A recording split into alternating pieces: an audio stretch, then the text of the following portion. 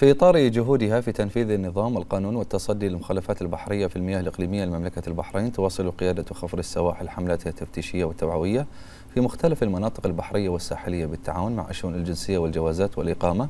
وهيئة تنظيم سوق العمل. وتهدف الحملات إلى التأكد من مدى التزام البحارة والصيادين بالقوانين والقرارات المنظمة للصيد ومدى صلاحية تراخيص الصيد البحري بمختلف أنواعها للسفن الصغيرة والتأكد من توفر أدوات السلامة البحرية ومدى صلاحيتها بالإضافة إلى التحقق من سلامة إجراءات العاملين على هذه السفن. وأكدت قيادة خفر السواحل استمرار تنفيذ الحملات التفتيشية والتوعوية منوهة إلى ضرورة الالتزام بالأنظمة والقوانين حفاظا على الثروة البحرية والبيئية والفطرية.